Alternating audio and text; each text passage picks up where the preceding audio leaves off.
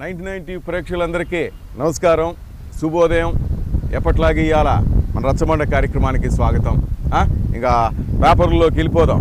ఈరోజు ఏ పేపర్ చూసినా కూడా ఇగో కేసీఆర్ సార్ యాడ్ వేసి పెట్టారు. ఏ అంటే ఇదిగో మన కేసీఆర్ గారి స్వప్నం సాకారమైంది కొండపోచమ్మ తల్లి ఆశీర్వదించింది తల్లి గోదారమ్మ తరలి వచ్చింది తరతరాల మన చింత తీర్చింది. ఈరోజు కొండపోచమ్మ సాగర్ ప్రాజెక్టు ప్రారంభోత్సవం. ఉదయం పదకొండు గంటల ముప్పై నిమిషాలకి. మంచిదే కదా? మనం ఎప్పటి నుంచో అనుకుంటాం. రైతులకు అండగా ఉండాలి.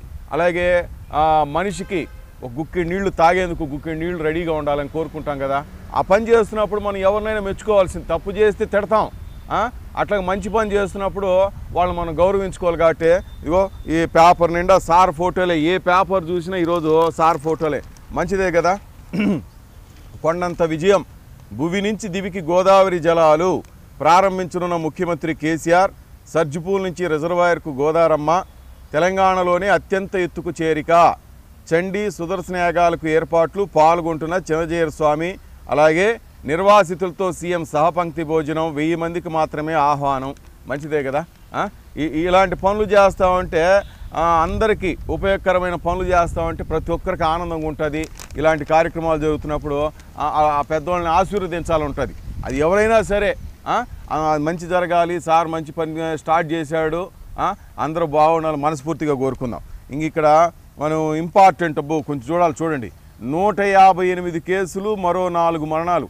రోజు నేను అనుకుంటా ఏమన్నా ఇది కరోనా కరోనా అని చెప్పి పేపర్ తెస్తే ఇది ఇదే చెప్పి జనాలు హింసించండి ఎందుకో కొంచెం తగ్గిపోదాంలే నేనని ఆ పేపర్ తిప్పేద్దామని చూస్తా కానీ నాకే భయం వేస్తుంది. మీకు జాగ్రత్త జాగ్రత్తలు చెప్పపోతే ఎట్లా అని చూడు కూరలు జాస్తున్న కరోనా తెలంగాణలో నూట యాభై ఎనిమిది కేసులంట.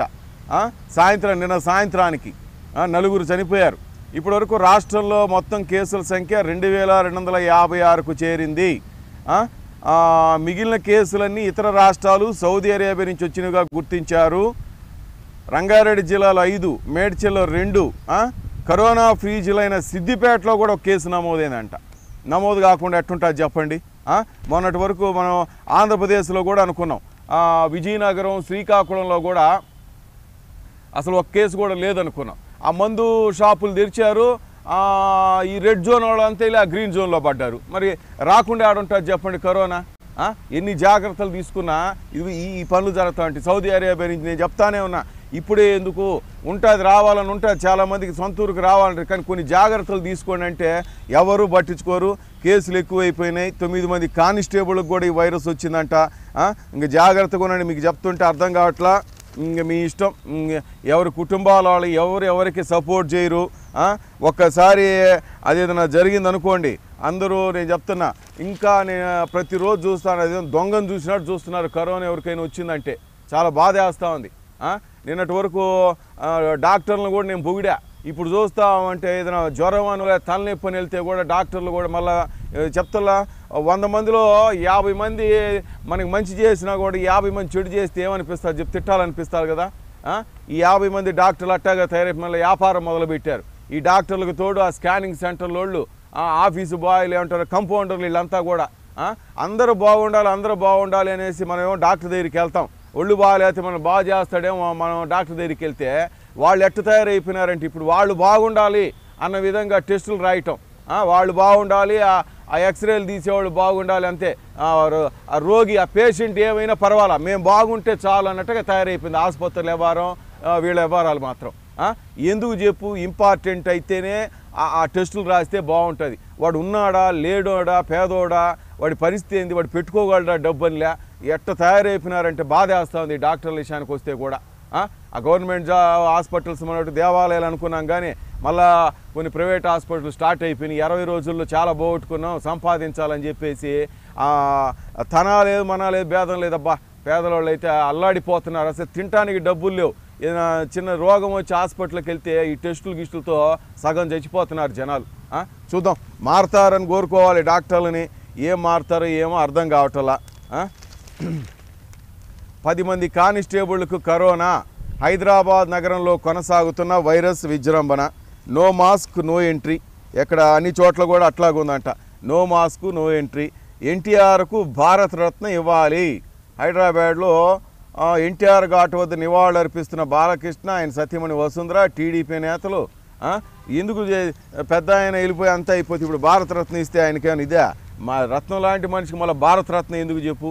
ఆయన ఆయన చేసిన మంచి పనులు ఆయన నిలిచిపోయినాయి అంతే మళ్ళీ దానికి భారతరత్న ఇవ్వాలి మళ్ళీ దాని మీద ఎందుకు ఇవ్వాలని కొంతమంది మళ్ళీ గొడవలు స్టార్ట్ అవుతాయి ఈ ఎంత ఎందుకు కానీ వేస్ట్లే. బాలుడిని మింగిన బోరు బావి. నిన్న ఉదయం మనం చెప్పుకున్నాం దాదాపు పదకొండు గంటలు సహాయక చర్యలు చేస్తే పదిహేడు అడుగుల లోతులో ఊపిరాడక మృతి చెందాడు. ఆ? బిడ్డ ఎంత బాధ వస్తుంది చూడండి. కుటుంబం చేసిన ప్రార్థనలు ఫలించలేదు. పదకొండు గంటల పాటు ఎన్డీఆర్ఎఫ్ సిబ్బంది నిర్విరామంగా సహాయక చర్యలు చెప్పిన బాలుడి మృతదేహాన్ని వెలుగుదీశారు ఈ ఈ- బోరు బావి గురించి తెలుసుకుంటా చదువుతా ఉంటే బాధ వేస్తుంటుంది ప్రతిసారి చెప్తుంటా. పొలాల్లో మీరు ఆ బోరు బావులు దేవి రైతన్నలు మీరు కొంచెం ఆలోచించాలి. మీరు అన్నం పెడుతుంటారు అప్పుడప్పుడు ఇదిగో చిన్నపిల్లల ఉసురు కూడా మీరే తీస్తుంటారు బా. అందరిని నేను- అన్నగానే కొంతమంది రైతుల నిర్లక్ష్యం ఇలాంటి పిల్లకాయల ఉసురు తీస్తూ ఉంటుంది. మన కర్మ ఏం చేస్తామని చెప్పు? లక్షల కిలోమీటర్ల అంతరిక్షంకి వెళ్తాం పెద్ద పెద్ద ప్రయోగాలు చేస్తాం చందమామ మీద కాలు పెడతాం అంటారు. పదిహేడు అడుగుల లోతులో బిడ్డబడిపోతే వాడిని రక్షించుకోలేం. అట్టుంది మన ఏమంటారు దీన్నే? టెక్నాలజీ. పెద్ద పెద్ద మాటలు మాట్లాడతాం మనం. మిగతా రా చైనా గీనా అమెరికా వాళ్ళని తిడతాం. కానీ వాళ్ళు చూడు టక్కున గంటలో ఆ బిడ్డను తీసేసి ఉండేవాళ్ళు. ఆ టెక్నాలజీ అట్ట పెంచుకున్నారు. మన దగ్గర ఆ టెక్నాలజీ పెంచుకోరు మన దగ్గర ఎంతసేపు ఎంత సంపాదిద్దామా ఈ టెక్నాలజీ పెంచుకుంటుంటారు అందరూ. అధికారులు అయితేనే ఎంపీలే ఎమ్మెల్యేలు అందరూ అట్టా చచ్చారు. ఎవరి వాళ్ళు రెండు కోట్లు ఎలక్షన్లో పెట్టామంటే పది కోట్లు సంపాదించాలి టార్గెట్ అంతే. మనమేం తక్కువ? సామాన్య మానవులేం తక్కువ? వాళ్ళు ఇచ్చే ఐదు వేలకి సిగ్గు ఎగ్గు లేకుండా వాళ్ళు చెప్పినట్టు ఓటేస్తాం. మన తప్పు మంది మనం చేసే అదో పనుల వల్ల వాళ్ళు శుభ్రంగా ఎమ్మెల్యేలు ఇదైపోతారు. ఆ అధికారులు కూడా అట్టాగా తయారైపోయారు. ఇల్లు ఆఫీసులలో గట్టిగా అడగడంటే భయం అంట. ఏం భయం చెప్పండి? మన పనులు చేయటానికే కదా. మనం ఇచ్చే మనం కట్టే పనులతోనే కదా వాళ్ళకి జీతాలు వచ్చేది. వాళ్ళకి తేరకేమైనా వచ్చారా? పైనుంచి ఊడిపడ్డారా? మనలో చైతన్యం లేనప్పుడు అంతకాలం ఇదే దరిద్రం చెప్తలా? అది బాధ బాధేస్తూ ఉంటుంది. ఇంక పే- పేరుకి మాత్రం అబ్బా వెళ్ళిపోతున్నాం చంద్రమండలంలో ఇల్లు కూడా కడతాం అంటారు. సిగ్గు ఎగ్గు ఉండాలి కొంచెమన. అక్కడ చిన్న గోతిలో పిల్లకాయ పడితే వాడిని బయటికి లాగటానికి మళ్ళీ సమాంతరం గొయ్యి అంట టెక్నాలజీ ఏం చేస్తున్నారు చెప్పి ఎన్ని కోట్లు పెడుతున్నారు? ఇలాంటివి అనుకోకుండా దీని మీద చర్యలు తీసుకోకుండా మాటలు మాత్రం కోటలు దాటుతూ ఉంటాయి. నేను రైతన్నలకు కూడా చెప్తున్నా స్వామి మీరు కూడా కొంచెం ఒళ్ళు దగ్గర పెట్టుకోవాలి. ఎందుకంటే బిడ్డ ప్రాణం పోయిందంటే ఆ తల్లిదండ్రులు ఎంత అల్లాడిపోతున్నారు చూడండి. మీ పాటికి మీరు గో అది- కనీసం ఆ బోరు మూసేయాలి కదా. అట్లాగా బోరు బావి వచ్చే వర్కర్స్ కూడా చెప్తున్నా ఆ లారీలు వేసుకొచ్చి బోరు తాగుతూ ఉంటారు మీరు కూడా. అక్కడ నీళ్ళు పడలేదంటే దాన్ని మూసేసే పని ఏదో చేయండి. అంతేగాని దాన్ని ఓపెన్ చేసి పెట్టేసి ఎవడో ఒక పిల్లగాయలు పట్టడం ప్రాణాలు పోతానే ఉన్నాయి. ఇది ఈ రోజో నిన్నో జరిగింది కాదు. కొన్ని సంవత్సరాలకు ఇట్టాగా జరుగుతుంది కానీ ఈ రోజు కూడా చర్యలు తీసుకోవట్లా. ఆ? ఒక్కసారి జాగ్రత్తగా ఆలోచించండి. జలగల జగన్ అంట రాష్ట్రాన్ని పిండుకుంటున్నారు మహానాడులో చంద్రబాబు ధ్వజం. ఇసుక మట్టి మద్యం మైన్ సహా దేన్ని వైసీపీ నేతలు వదిలిపెట్టడం లేదని టీడీపీ అధినేత చంద్రబాబు ధ్వజమెత్తారు. అబ్బో! ప్రభుత్వం మారినప్పుడల్లా రాజధాని మారుస్తారా? చంద్రబాబు. బీసీల హృదయాలను గెలుచుకుంటాం. మంచిది నాయన. ఇంక ఏముంది? ఇంక మన స్టార్ట్ అయింది. కులాలు మతాలు. ఎప్పటికి మారుతారో వీళ్ళు కానీ వీళ్ళు మారరు జనాలు కూడా అట్టాగే తెచ్చారు. ఏం చేస్తారని చెప్పి వాళ్ళు చెప్తే వీళ్ళు వింటారు. ఏమంటారు? ఆ, గ- గంగిరెద్దులాగా తల ఆడించుకుంటే వెళ్తూ ఉంటారు. అంతేగాని వాళ్ళు మనకు నిజంగా చేస్తారా చేయరా ఏం ఆలోచించరు. ఇది ఒకటి చదువుదాం వినండి. మిడతల దండుకు సరిహద్దుల్లోనే కళ్యాం. నియంత్రణ చర్యలపై ఐదుగురితో కమిటీ సమీక్షలో సీఎం కేసీఆర్. మిడతల దండు తెలంగాణలోకి దూసుకురాకుండా ముందు జాగ్రత్త చర్యలు తీసుకుంటున్నట్లు సీఎం కేసీఆర్ వెల్లడించారు. మహారాష్ట్ర ఛత్తీస్గఢ్ రాష్ట్ర సరిహద్దులో జిల్లాల కట్టలను పోలీస్ అధికారులను అప్రమత్తం చేసినట్లు ఫైర్ ఇంజన్లు జెట్టింగ్ మిషన్లు పెస్టిసైడ్లను సిద్ధం చేసినట్లు ఆయన తెలిపారు. మిడతల దండు కదలికలను ఎప్పటికప్పుడు గమనిస్తూ అవి తెలంగాణలోకి ప్రవేశించకుండా చేపట్టే చర్యల పర్యవేక్షణకు ఐదుగురు సభ్యుల కమిటీ నియమించినట్లు చెప్పారు. సరేలేండి సార్ కంటికి కనిపించని కరోనా వైరస్ని ఇప్పటి వరకు పట్టుకోలేకపోయారు కానీ కంటికి కనిపించే మిడతల దండను ఆపుతామంటే ఆడ చెప్పు. ఇంక మన కర్మ ఇవి వస్తానే ఉంటాయి ఈ ఎఫెక్ట్లు తట్టుకోవాల్సింది మనం కలెక్టర్లు ఏం చేస్తారు చెప్పండి మిడతలు ఆకాశంలో వస్తే పంట పొలాలు నాశనం చేస్తూ ఉంటాయి. ఆ ఎందుకు వస్తున్నాయి ఎక్కడ వస్తున్నా ఆ మూలాలు కనిపెట్టుకోవాలి. వాటిని అడుగు అడ్డుకుంటాం అరికడతాం అంటే కరోనాను కూడా అట్టాగన్నాం. అది ఎట్టుంటుంది కూడా కంటికి కూడా తెలియదు. ఒక ఎర్ర బొమ్మే దానిపైన గుండు సూదులు కూర్చున్నట్టు ఎవడు వాడు గ్రాఫిక్స్ చేసి వదులుతున్నారు అదే కరోనా అనుకుంటున్నాం. దాన్ని ఆపుతాం దాన్ని ఆపుతాం దాన్ని నాశనం చేస్తాం. తెలంగాణ నుంచి తరిం కొడతాం ఆంధ్రప్రదేశ్ నుంచి తరిం కొడతాం అని చెప్పారు అంతా. ఇప్పుడు ఏం చేశారు? అది ఆడుందో తెలియదు దాన్ని తరిం కొట్టలేము దాన్ని మనం జేబులో పెట్టుకుని తిరగాల్సిందే అన్నారు. బాగానే చెప్తారు సార్ మాటలు మాత్రం బాగానే చెప్తారు. మన దాకా వస్తే కానీ అది తెలియదు అనేసి జూన్ పద్నాలుగు వరకు లాక్డౌన్. మన్ కీ బాత్లో ప్రధాని ప్రకటన. దేశంలో లాక్డౌన్ మరో రెండు వారాల పాటు పొడిగించే అవకాశాలు కనిపిస్తున్నాయి. కరోనా కేసుల సంఖ్య రోజు రోజుకి పెరుగుతున్న నేపథ్యంలో కేంద్రం ఈ దిశగా ఆలోచిస్తున్నట్లు సమాచారం. ఐదో విడత లాక్డౌన్ గురించి ముప్పై ఒకటో తేదీ నిర్వహించిన మన్ కీ బాత్ కార్యక్రమంలో ప్రధాని మోదీ ప్రకటించవచ్చని కేంద్ర ప్రభుత్వ వర్గాలు చెబుతున్నాయి. లాక్డౌన్ను జూన్ పద్నాలుగు వరకు పొడిగించాలని కేంద్రం యోచిస్తున్నట్లు విశ్వసనీయ వర్గాలు తెలిపాయి. అది మనం ఇంతకుముందు కూడా అనుకున్నాం. ఈ కేసులు పెరిగే కొద్దీ ఎవరు కూడా ఇప్పటికప్పుడు సర్దుకుపోరు. మనకి తప్పదు ఇంత చచ్చినట్టే మనం ఉండాల్సిందే అనుకున్నాం కదా. ఇంకా పద్ జూన్ పద్నాలుగు మేము ఉపయోగపడితే ఆయన వస్తాడు పెద్ద ఆయన. వచ్చేసి కేసులు పెరిగిపోతున్నాయి మీరు నా మాట చెప్పినట్టు వింటం లేదని మళ్ళీ ప్రజల మీదకే దోస్తారు ఇప్పుడు ఆయన చెప్పినట్టు గట్టిగా బయటికి రావద్దంటే అందరూ ఇళ్ళలోనే కూర్చుంటాం.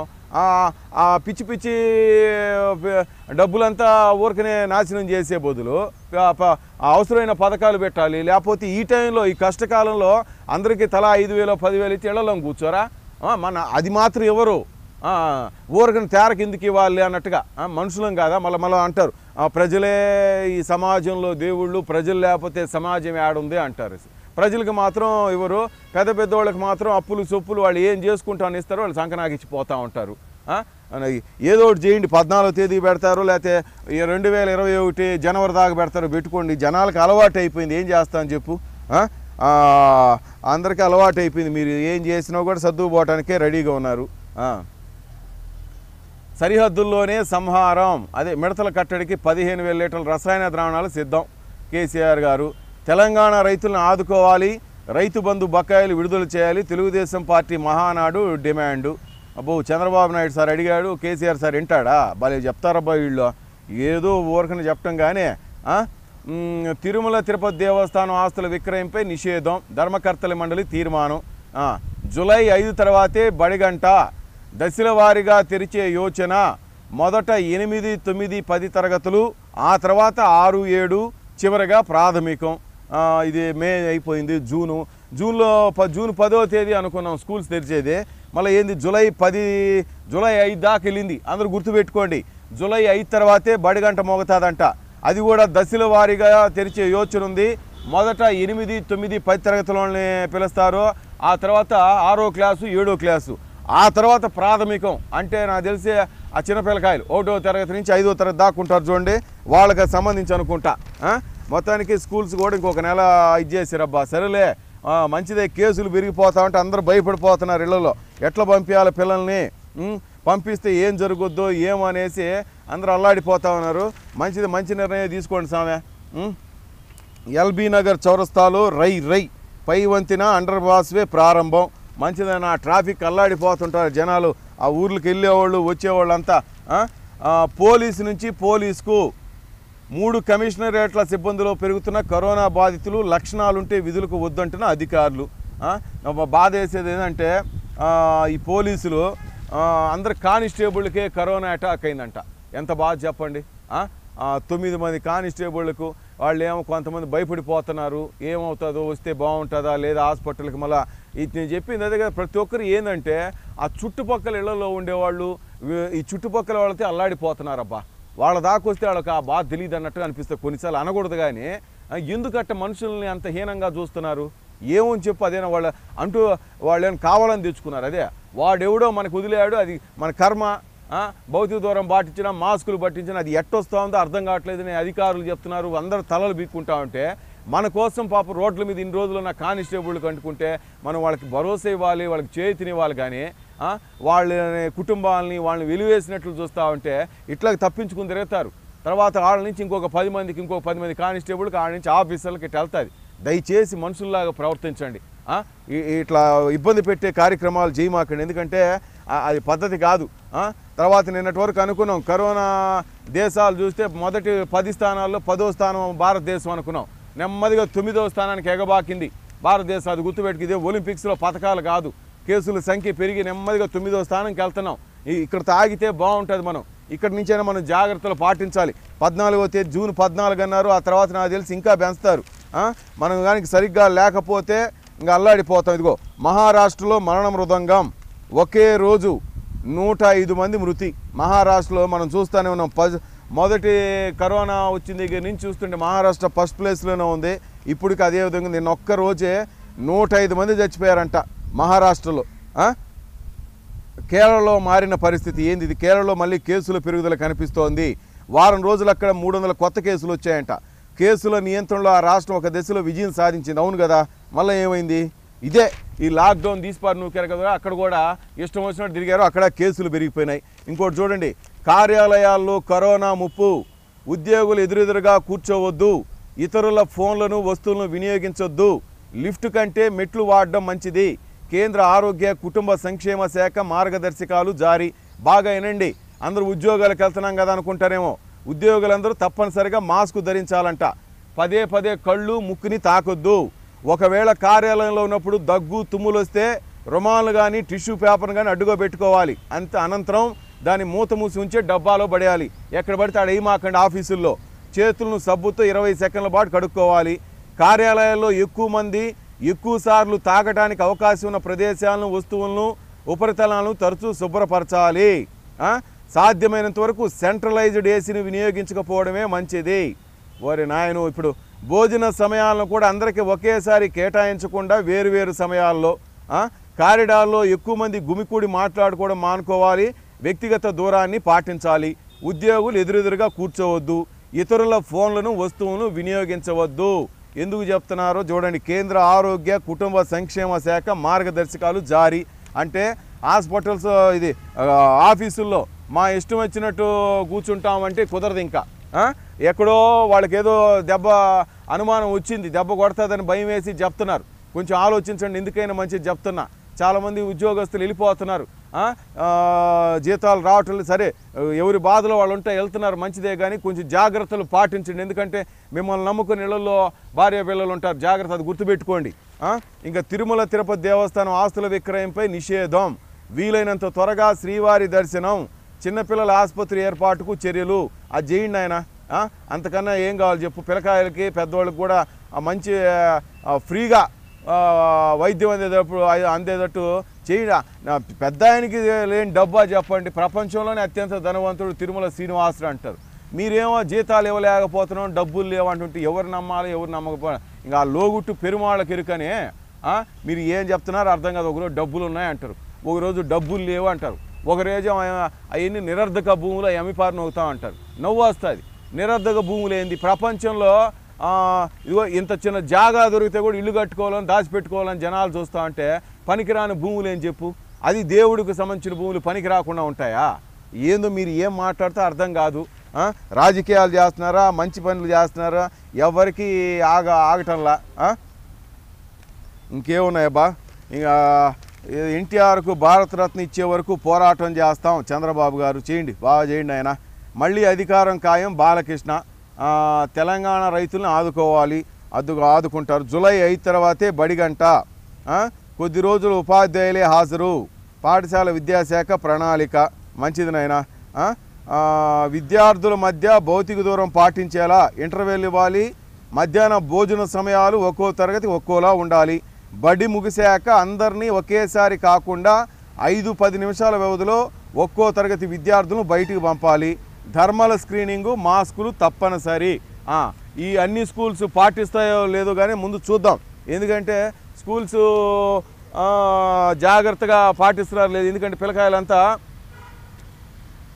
గమనిస్తూ ఉంటారు కాబట్టి మనం ఒకసారి టీచర్లు ఎంత ఇది చేసుకుంటారు? ఎందుకంటే ప్రతి ఒక్కరు కూడా తల్లిదండ్రులు ఆలోచిస్తున్నారు.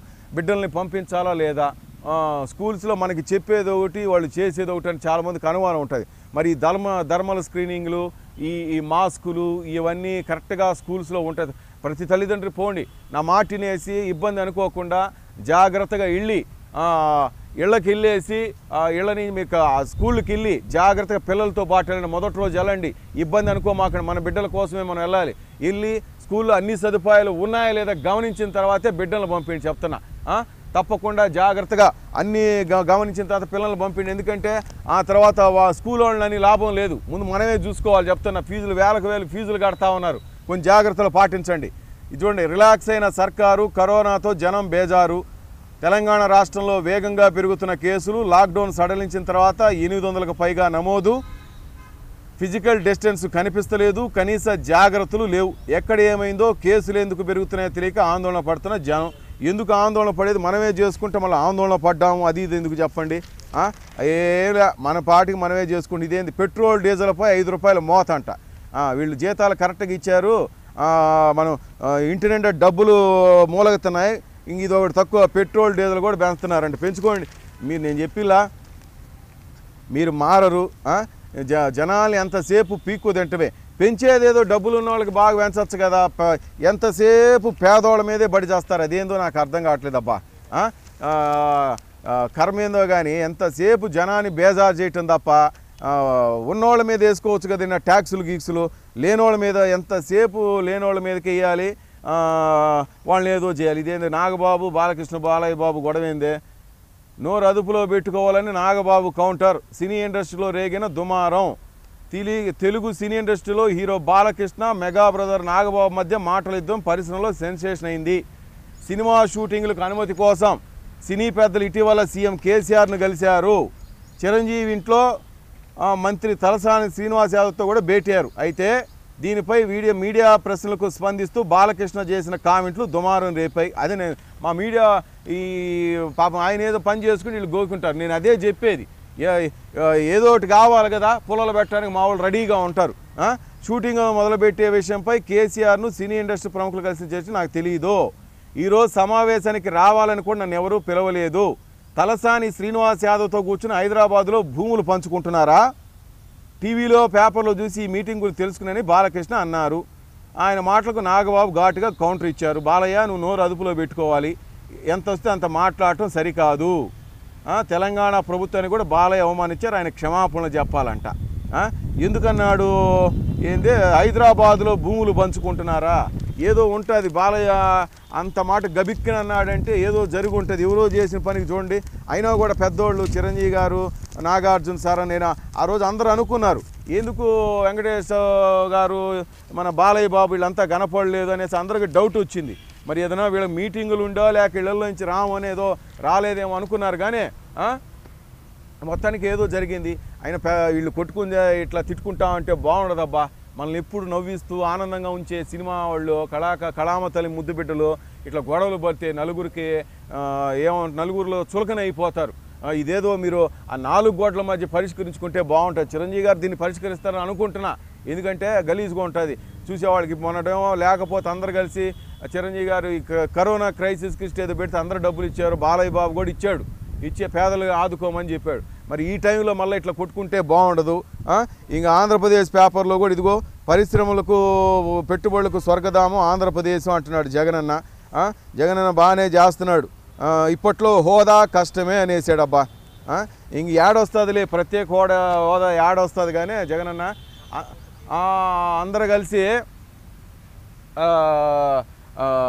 మా మొదట్లోనే పోరాడుంటే బాగుండేది. అప్పుడే మాకు ఎన్టీఆర్ మాకు ఇంతమంది ఎం ఎంపీలు లేరు అని చెప్పారు. ఇప్పుడు ఎంపీలు చేతిలో ఉంటేమో ప్రత్యేక హోదా కష్టం అంటున్నారు అన్ని రాజకీయాలని అందరికీ తెలుసులే.